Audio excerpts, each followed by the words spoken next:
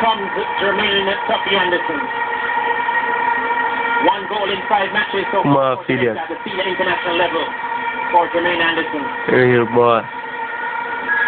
Good to see him and good to see Captain Jermaine Taylor just coming to the half line and, and seemingly giving him an encouraging Yeah. word as a frustrated Marlon King Mhm. makes his way to the touchline.